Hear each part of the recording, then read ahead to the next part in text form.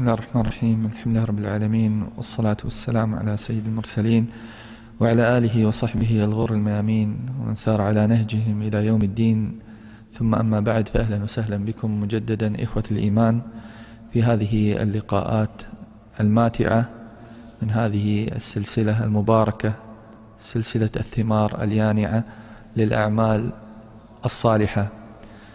ومن نعم الله سبحانه وتعالى علينا أن تتجدد مثل هذه المجالس لأن فيها انشراح الصدور وفيها طمأنينة القلوب وفيها لقاء الأحبة وهو من الزاد الذي يحتاجه الإنسان في هذه الدنيا.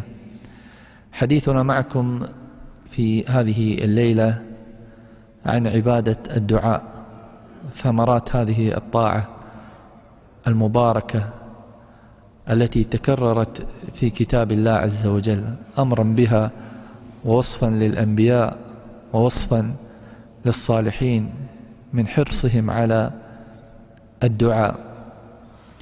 فمن أعظم ثمرات الدعاء أنه امتثال للأمر الرباني. الله سبحانه وتعالى يأمر عباده يقول ادعوني أستجب لكم. وادعوه مخلصين له الدين. فالله سبحانه وتعالى يأمر عباده بالدعاء. فالإنسان الداعي يمتثل هذا الأمر. يقول العلماء إن الله سبحانه وتعالى يحب سماع صوت العبد.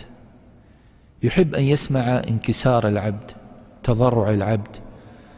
مناجاة العبد لربه ينكسر. بين يديه. فالله سبحانه وتعالى يحب منك سماع الصوت وهذا الانكسار والتذلل وإلا فالله سبحانه وتعالى هو الغني. الله سبحانه وتعالى ليس بحاجة إلى عباده ومع ذلك يقول ادعوني أستجب لكم. يأمر عباده بالدعاء.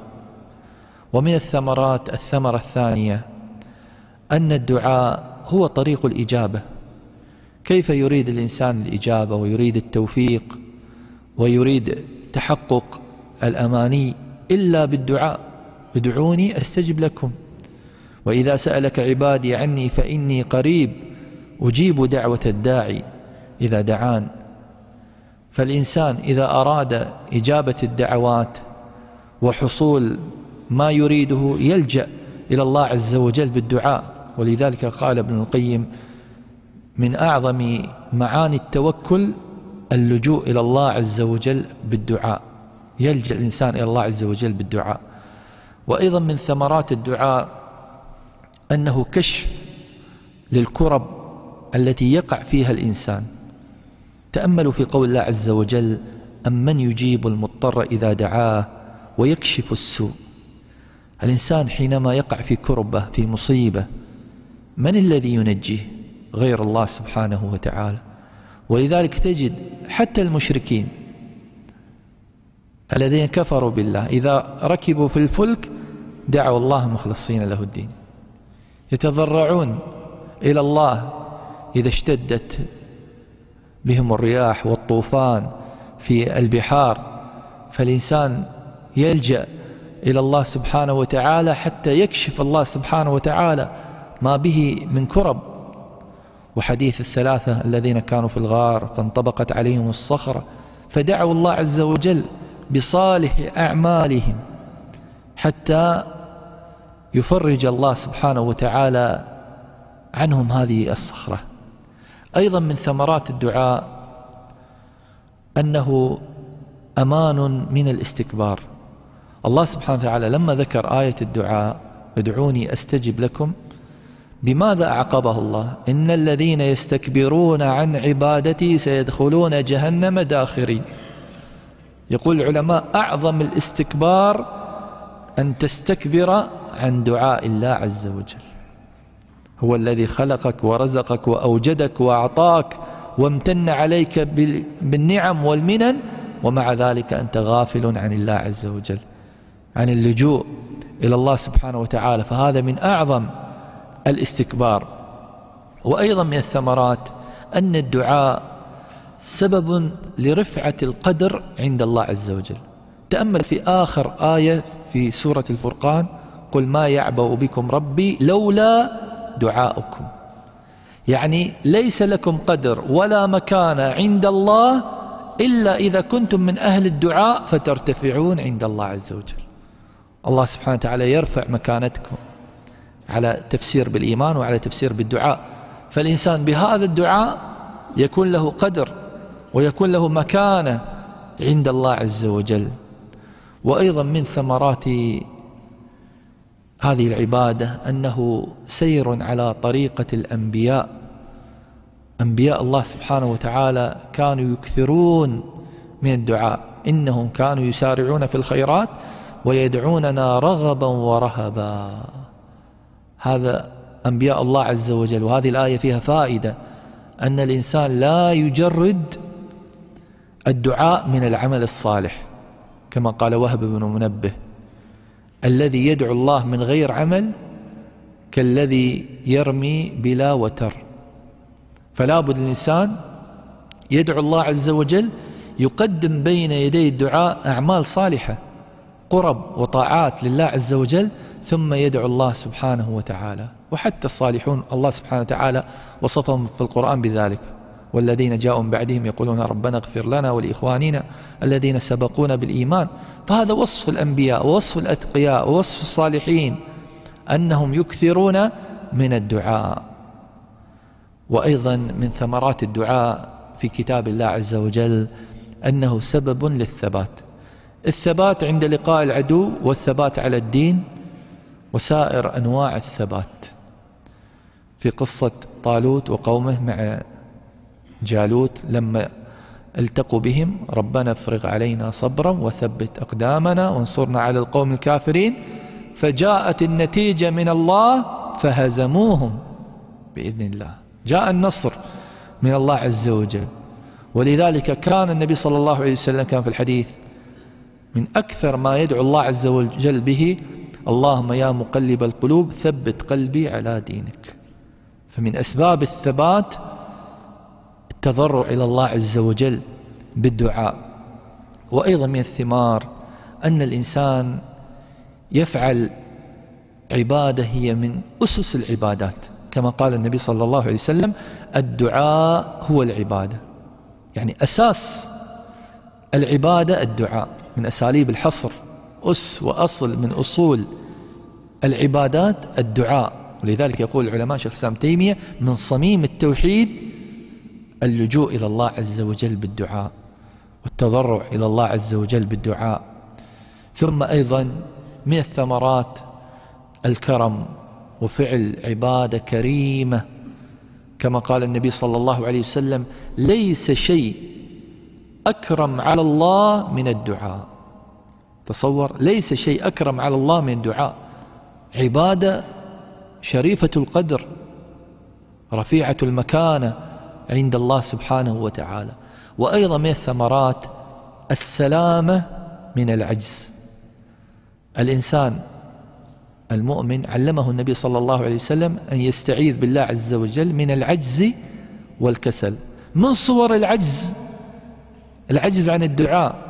قال النبي صلى الله عليه وسلم أعجز الناس من يعجز عن الدعاء. عبادة سهلة لكن يعجز عنها كثير من الناس لا يوفق لها. قضية الدعاء قضية توفيقية تماما كما يقول فاروق هذه الأمة عمر يقول إني لا أحمل هم الإجابة ولكني أحمل هم الدعاء. فإذا جاء الدعاء جاءت الإجابة معه. وأيضا من الثمرات فعل عبادة يحبها الله كما جاء في حديث عبد الله بن مسعود مرفوعا اسألوا الله من فضله فإن الله يحب أن يسأل. الله سبحانه وتعالى يحب أن يسأل. الله سبحانه وتعالى يحب منك الدعاء يحب منك التضرع. وأيضا من الثمرات العظيمة السلامة من الغضب. يقول النبي صلى الله عليه وسلم من لا يسأل الله عز وجل يغضب عليه. بعكس بني آدم. بني آدم إذا سألته يغضب. الله سبحانه وتعالى إذا تركت سؤاله يغضب. الله سبحانه وتعالى خزائنه مفتوحة. يديه ملأى. لا يغيضها نفقة. سحاء الليل والنهار كما جاء في الحديث.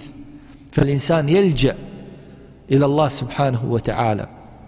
وأيضا من الثمرات أن هذا الدعاء ينفع الإنسان في دفع البلاء النازل وفي دفع البلاء الذي لم ينزل بعد. كما قال النبي صلى الله عليه وسلم إن الدعاء ينفع مما نزل ومما لم ينزل. فعليكم عباد الله بالدعاء. الله ربما يصرف عنك سوء بدعائك. ولذلك جاء في الحديث لا يرد القدر إلا الدعاء. قد يكون هناك ابتلاء ومصيبة تدفع عنك بالدعاء بالتضرع إلى الله سبحانه وتعالى. وأيضا من الثمرات أن نتيجة الدعاء مضمونة عند الله عز وجل. يقول النبي صلى الله عليه وسلم ما من امرئ مسلم يدعو ليس بإثم ولا قطيعة رحم إلا كان له إحدى ثلاث خصال. إما أن يجيب دعوته في الدنيا وإما أن يدخرها له إلى يوم القيامة وإما أن يدفع عنه من السوء مثلها. فالثمرة مضمونة. إذا دعوت الله عز وجل إما الله يستجيب لك في الدنيا وإما يدخرها لك يوم القيامة وإما أن يدفع عنك مكروه مقابل هذا الدعاء ومقابل هذا اللجوء إلى الله سبحانه وتعالى. وأيضا من الثمرات لذة المناجاة. فالإنسان الداعي لله عز وجل يتلذذ بأفضل أنواع الذكر إكثار الدعاء لله سبحانه وتعالى. وأيضا من الثمرات ظهور أسماء الله عز وجل وآثار صفات الله عز وجل. يقول النبي صلى الله عليه وسلم إن الله حيي ستير في رواية كريم ستير. يستحي من عبده إذا رفع يديه أن يردهما صفرا خائبتين. فمن آثار الدعاء إذا رفعت يديك إلى الله الله رأى منك الانكسار والذل والأخذ بأسباب الدعاء إن الله سبحانه وتعالى يستجيب لك هذه الدعوات المباركات ولا يرد هاتين اليدين اللتين ارتفعتا إلى الله سبحانه وتعالى صفرا. فالعبادة عبادة الدعاء من العبادات الجليلة من العبادات العظيمة عند الله سبحانه وتعالى. لها هذه الثمرات التي بيناها وأنبياء الله عز وجل كانوا يكثرون من الدعاء كما في كتاب الله عز وجل وهو سلاح المظلوم كما يقول العلماء. إن الله سبحانه وتعالى يستجيب دعوة المظلوم ويرفعها فوق الغمام ويقول لأنصرنك ولو بعد حين. فالإنسان يلجأ إلى الله عز وجل بالدعاء والتضرع. أسأل الله عز وجل أن يوفقنا إلى هذه العبادة وأن يرزقنا وإياكم العلم النافع والعمل الصالح. وصلى الله وسلم على نبينا محمد وجزاكم الله خيرا.